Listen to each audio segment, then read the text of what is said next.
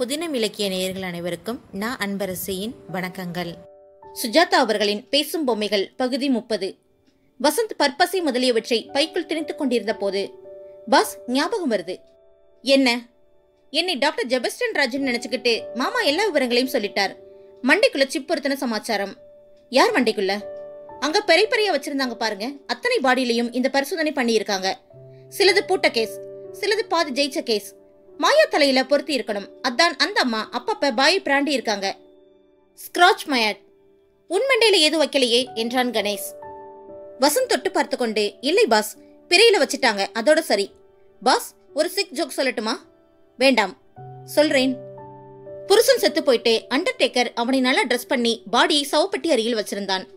அதை மனைவி பார்த்துட்டு நல்லா தான் அலங்காரம் பண்ணியிருக்கீங்க. ஆனா சூட்டு கலர் தான் சரியில்லை. நீல கலர்னா கேட்டேன். இத பாருங்க. பக்கத்து பாடிக்கு போட்டிருக்காங்க பாருங்க அது நல்லா இருக்கு என்றாளாம். அதுக்கு என்ன மாத்திடுறேன் அரை மணியில வாங்க என்றான். அரை மணியில் போன போது புருஷனுக்கு சோக்கா நீல சூட் போட்டிருந்ததை பார்த்ததும் திருப்தி ஆச்சு மனைவிக்கு. பரவாயில்லையே ரொம்ப சீக்கிரம் ட்ரெஸ்ஸை மாத்திட்டீங்களே. இதுக்கு அந்த ஆளு ட்ரெஸ் இல்லைங்க தலைய மாத்திட்டேன் அதான் சீக்கிரம் என்றானாம். கணேஷ் சிரிப்பு வரலை என்றான்.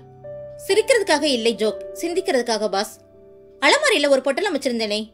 தூக்கி குப்பையில போட்டுட்டேன். ஐயையோ அது என்ன விலை தெரியுமா? தெரிஞ்சுதான். வசந்த் கணேசை முறைத்து பார்த்து சரி சரி ஆந்திராவில் வாங்கிட்டா போச்சு. அங்கிருந்து தானே வர்றது? என்று முப்பது நாட்களில் தெலுங்கு புஸ்தகத்தை எடுத்து பையன் மேல் பகுதியில் வைத்துக்கொண்டு விளக்கை அணைக்கிறதுக்கு தெலுங்கில் போட்டிருக்கானா பார்க்கணும் என்றான். வசந்த் சென்ட்ரல் நிலையம் வந்தபோது ஹிக்கின் பாதம் சருகே டிராவல் ஏஜென்ட்டிடம் வர சொல்லியிருந்தான். டிக்கெட் பெற்றுக்கொள்ள மாலை பேப்பரின் தலைப்பு செய்திக்கு அருகில் நோபல் கிடைக்குமா என்று டாக்டர் சாரங்கபாணி போட்டோ போட்டிருந்தது. சென்னையில் இருக்கும் சிஎம்ஆர்ஐ என்னும் இடத்தை பற்றி அதிகம் பேருக்கு தெரியாது. இங்கே ஓசைப்படாமல் நடைபெறும் ஆராய்ச்சிகள் குறிப்பாக neurology neuro science artificial intelligence என்னும் செயற்கை அறிவு இணைத்துறைகளில் மிக பிரசித்தமானவை. டாக்டர் சாரங்கபாணி மன எண்ணங்களை கம்ப்யூட்டர் சிறைப்படுத்துவதை பற்றிய சில ஆராய்ச்சிகளுக்கு நோபல் பரிசு கிடைக்கலாம் என்று சொல்லப்படுகிறது. அது பௌதீகத்திலா மருத்துவத்திலா என்று தீர்மானிக்க இயலாமல் தவிக்கிறார்களாம்.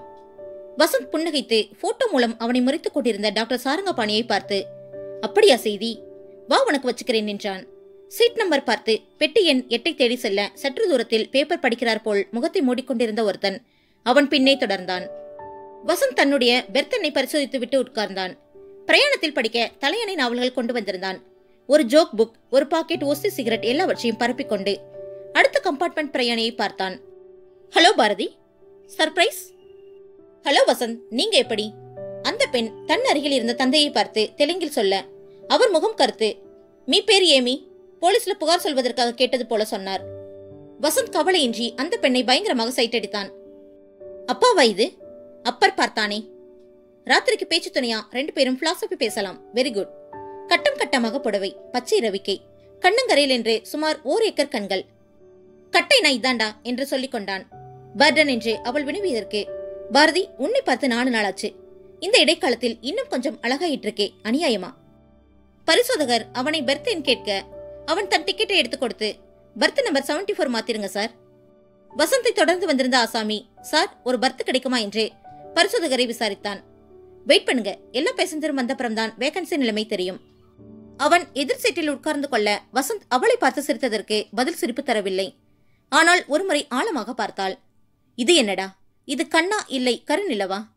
வசந்த் அந்த பெண்ணை பார்த்து பாரதி ஜலமுந்தா ரொம்ப தாகம். நான் விஜயவாடா போறேன். நீ? அவள் திரும்பிக் கொள்ள ஏ மிஸ்டர் என்றார் அப்பா. டிடிஆரிடம் வேறு பர்த் கேட்டார். பாரதி அப்புறமின்றி அடையாளம் காட்டினாள். டிடி பார்க்கலாம் பார்க்கலாம் என்று சின்ன சின்ன ஸ்லிப்புகளில் காப்பியிங் பென்சிலால் எழுதி கொண்டிருந்தார். வசந்த் வசமா சிக்கிட்டா? பெற்றுக்கொண்டா வர்றதுக்குள்ள இந்த பெண்ணை கணக்கு பண்ணலைனா எதுக்கு உயிர் வாழ்றது? பாரதி கூஜாவை திறந்தபோது விரல்களில் மறுத்தோன்றி தொப்பிகளை கவனித்தான். ஒருமுறை கூஜா கீழே விழும் போலிருக்க உடனே உதவி பண்ணினான். தேங்க்ஸ் என்றாள். தலையை தேய்த்துக் கொண்டு அப்பா மேல் பர்த்துக்கு தான் போயாக வேண்டும். வசந்த் அந்த பெண்ணுக்கு எதிர்பர்த்தை ஆக்கிரமித்தான். வசந்தை தொடர்ந்து வந்தவன் இப்போது தன் பட்டாப்பட்டி பையிலிருந்த ஒரு கத்தியை எடுத்து இடுப்பு வேஷ்டிக்குள் சொருகிக் கொண்டான். வசந்த் ஜன்னல் வழியே ரயிலுடன் கூட வந்த பௌர்ணமி நிலாவை அவளுக்கு காட்டினான். இன்னைக்கு தூக்கம் கிடையாது என்று மெல்ல உச்சரித்தான். வசந்த் முப்பது நாளில் தெலுங்கு என்ற புத்தகத்தை எடுத்து பார்த்தான். புடலங்காய் கத்தரிக்காய் போன்ற காய் வகைகளுக்கும் திங்கள் செவ்வாய் போன்ற கிழமைகளுக்கும் தெலுங்கில் போட்டிருந்ததை தவிர வசந்த் விரும்பிய வாக்கியங்கள் எவையும் அதில் இல்லை. வசந்த் பாரதியை ஒரு மாதிரி பார்த்து வா என்று தலையால் அதட்டினான். அவள் தன் சங்கிலியை கடித்தாள். ஒரே சமயத்தில் இருவரும் சட்டென்று எழுந்து தலையில் எடுத்துக் கொண்டனர். அவள் சாரி என்றாள். அமிர்தாஞ்சனம் இருக்கா? போயே போச்சு. அவள் தன் ஏராளமான பைக்குள் கையை விட்டு எடுத்து அதை வசந்திடம் கொடுத்த போது வசந்த் அவள் மேல் பட்டான். கையை பற்றி கொண்டான். பிடுங்கிக் கொள்ளாமல் அவனிடமே கையை வைத்திருந்தாள். வண்டி அப்போதுதான் ஸ்பீட் எடுத்தது. அப்பா ரயில் சத்தத்துக்கு மேல் குரட்டை விட தொடங்க பாரதியும் வசந்தும் பார்த்து கொண்டு சிரித்துக் கொண்டார்கள். வசந்த் அவள் கையை வெளிச்சத்தில் பார்த்து ரொண்டு என்று கைவிரலை காட்டினான். அவள் என்ன என்று ஜாடையாக கேட்க கொடுக்கு என்றான். அவள் கிளிக்கென்று சிரிக்க அப்பா குரட்டை நிறுத்திவிட. படுத்து தூங்குவது போல் பாசாங்க செய்தாள். சற்று நேரம் விட்டு வசந்த் மறுபடி அந்த ஜோசிய கையை பற்றி கொள்ள அவள் இஷ்டமாக அவனை பார்த்தாள். வசந்த் அவளை காரிடார் பக்கம் அழைத்தான். அவள் தயக்கத்துடன் எழுந்தாள். நானா பாத்ரூம் என்றாள். ம் என்று அவர் செருமினார் வசந்த் அவளை பின்பற்றி காரடார் பக்கம் வந்தான். நான் வந்து நல்ல கைரேகை பார்ப்பேன் பெண்களுக்கு என்றான். அவள் கையை காட்டி தலையை கோதிக்கொண்டாள் வசந்த் கைப்பற்றி மெல்ல முன்னேறி முழங்கி சேப்பிலேயே எப்படிப்பட்ட பொண்ணுன்னு தெரிய போறது? என்று சொல்லி அவளை வாசனை பார்க்க முயல அவள் விலக ரயில் வேகம் குறைந்தது. மெல்ல மெல்ல அவளை வளைத்து போடலாம் என்பதற்குள் யாரோ ஒரு மூத்திரர் பாத்ரூமுக்குள் போவதற்கு முன் இவர்களை சந்தேகமாக பார்த்து கொண்டே சென்றார். வசந்த் அந்த ஆசாமி மறைந்ததும் காலை குறுக்கே போட்டு அவளை சின்ன ரூம் போல ஆக்கி சிறைப்படுத்திக் கொண்டு பாரதி சொல்லு. போனதபா என்னை பார்த்ததும் என்ன வெள்ளமாச்சு என்ன நினைச்சியா? ம் என்றாள். என்ன நினைச்சே? என்ன நினைச்சிட்டேனா?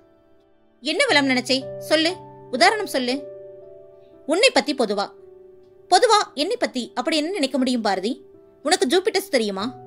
தெரியாது. தெரிஞ்சுக்க வேண்டாம். புத்த பிச்சு இல்லை ஜூபிட்டர்ஸ். அது ஒரு மாதிரி எக்ஸசைஸ் செஸ்ட் எல்லாம் நல்ல பலம் வரும். வேண்டாம். நீ போன தடவை இந்த மாதிரி தான் எக்ஸசைஸ் சொல்லித்தரேன்னு சைக்கிள் முன்னால வச்சுக்கிட்டு ஏதோ செஞ்சியே. அது பேர் என்ன? சக்கரவாகம். அது பேர இது ஜூபிட்டர்ஸ். அது எந்த பிச்சுவா இருந்தாலும் வேண்டாம்.